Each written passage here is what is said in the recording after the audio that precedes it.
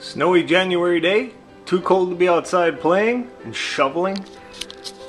Don't want to shovel? Why not use the day to fix your dishwasher? Here we have a KitchenAid dishwasher that is not getting the dishes clean, which is a common complaint. When I looked it up, I watched a 15 minute video on how to fix it. Well, you can do it in less than 15, and you certainly don't need all the details. So here's my version.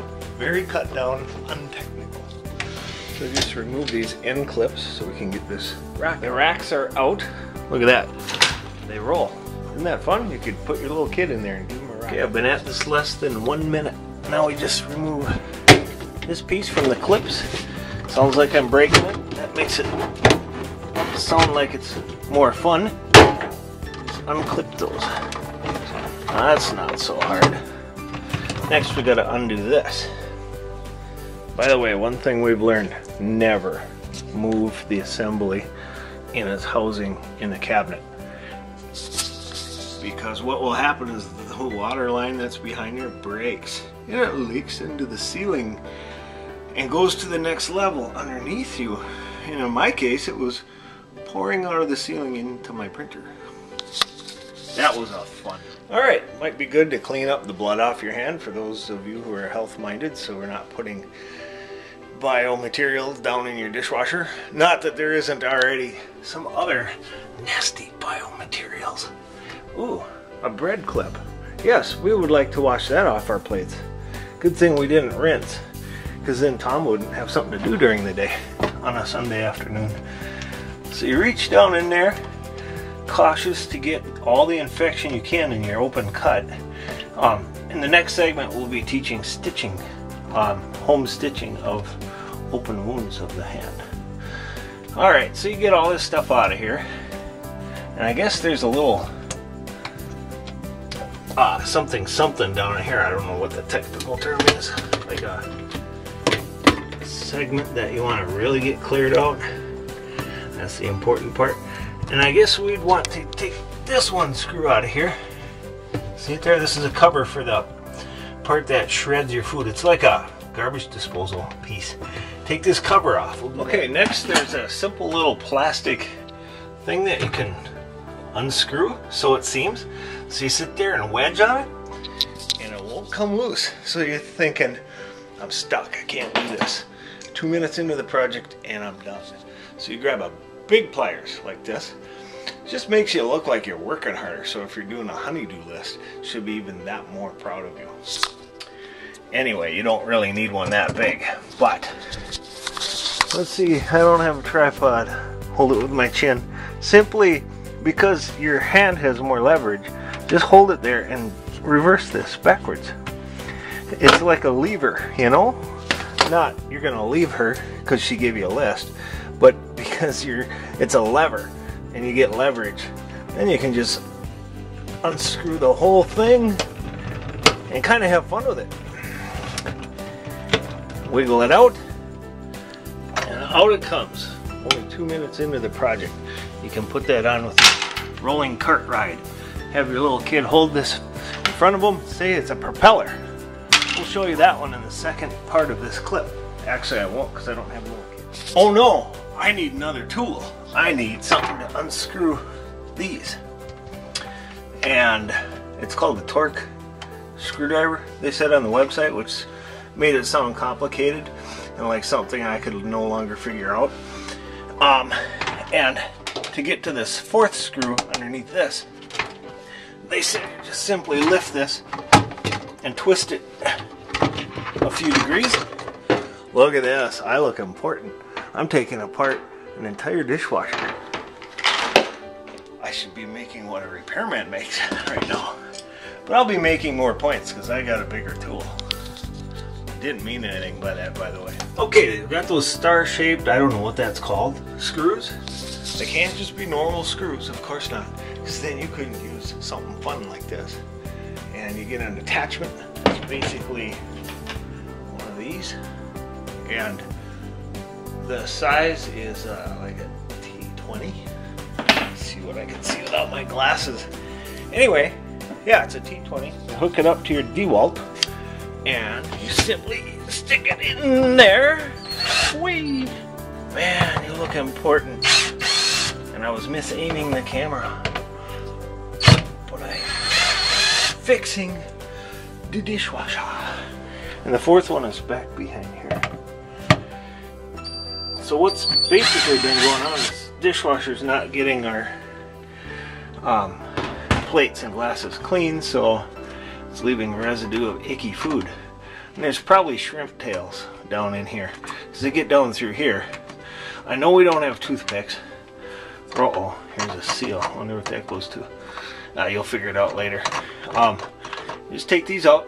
You don't want to drop them down in there, but even if you do, they'll be where the shrimp tails are. Shrimp tails for dishwashers, bad thing. Alright, once those are out, you basically grab this assembly. Two hands is better, but I am holding a video camera. And you basically just grab it out of here. Thusly. Keep it all together. Set that off to the side. Bleeding a little bit makes you look really important. And your honey will really appreciate what you're doing. Of course, you might appreciate it too. Having clean food is a good thing. Yeah, there's a gnarly thing in there. And some more gnarlage. Corn.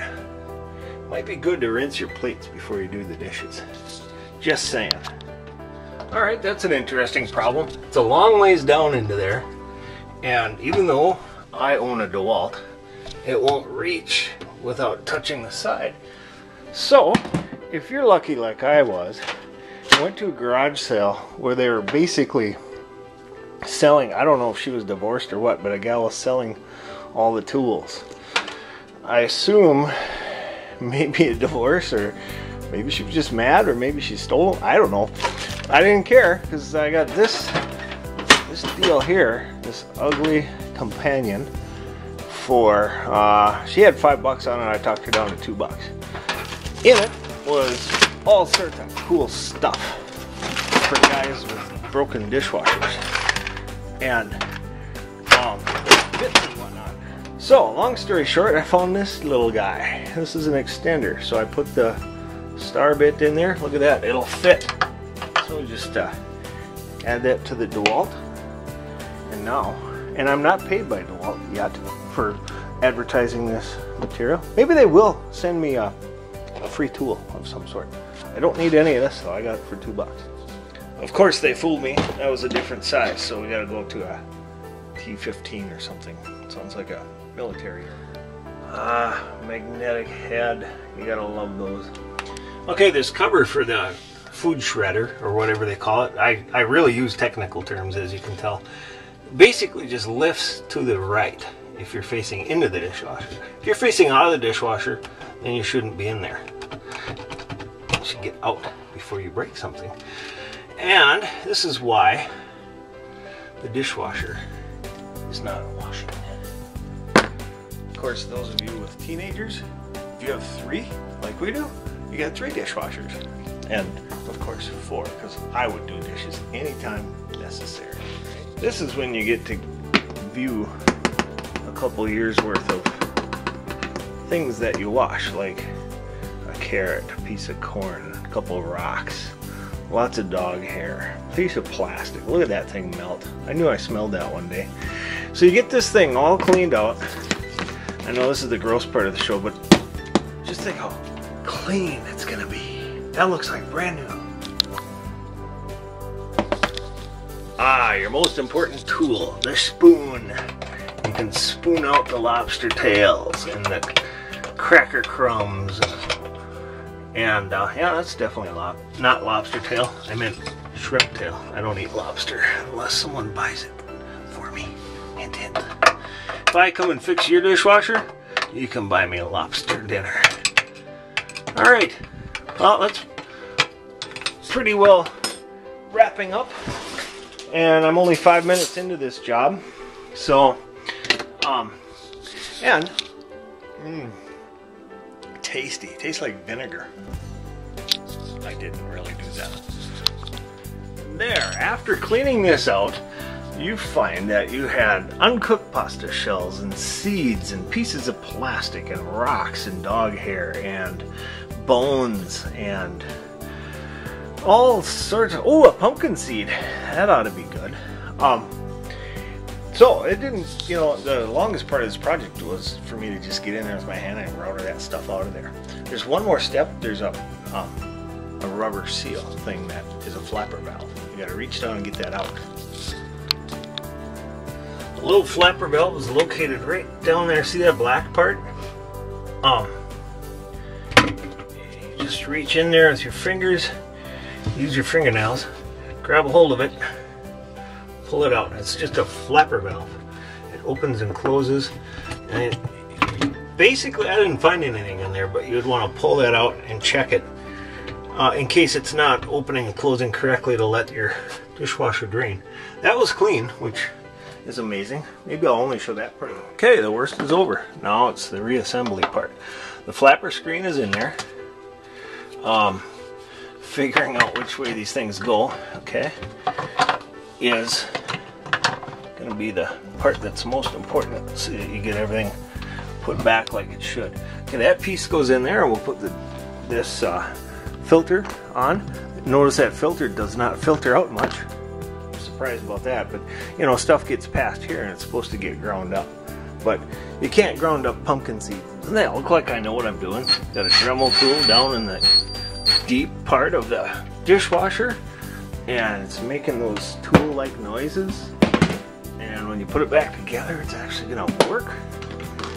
Oh, man you're gonna be looking charming when you have this all assembled back together.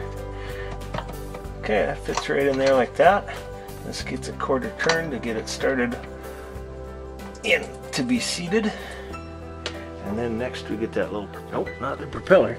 We need this part. But before you get too carried away and put this in place, remember to put the one screw that is going to be obstructed back in place.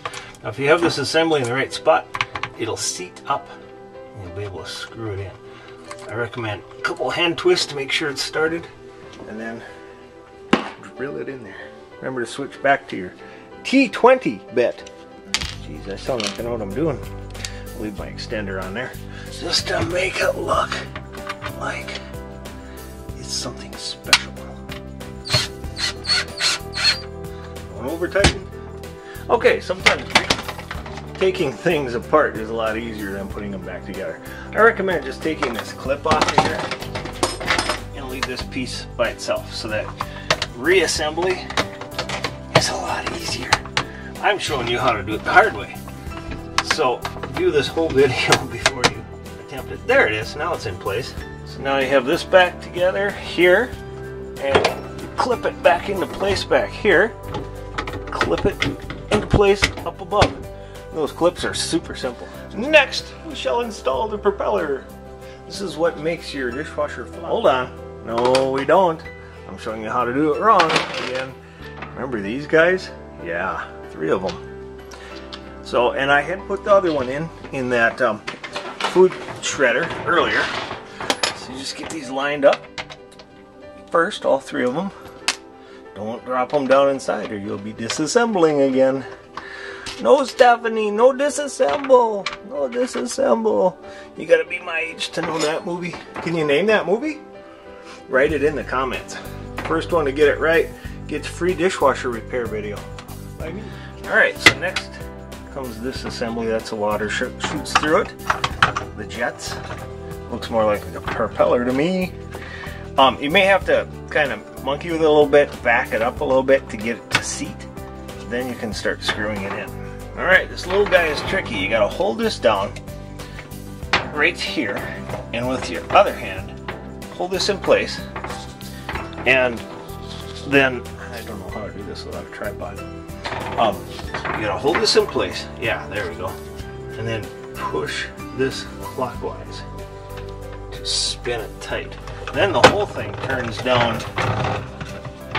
There, just in a matter of 10 minutes, you got all the pumpkin seeds and fish tails and everything else out of your dishwasher. And now it's time to put those racks back in. I didn't give anyone a ride on those racks yet. So you lower the wheels down into the carriage. And then it's in place, you just simply snap those back in. Put your racks back in. The bottom rack just goes in on wheels. No assembly required for that part of it. Make sure your parts all fit together. The door is sealing. Give it a try.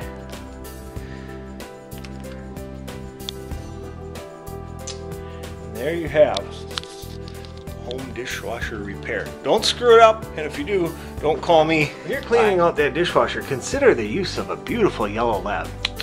She might want to clean out that drain trap for you. Huh, puppy? Yeah, you're a good girl. You want to get a treat? Come on, let's go lick out the dishwasher. And if you don't like your fingers stinking from the project, then just do a load of dishes.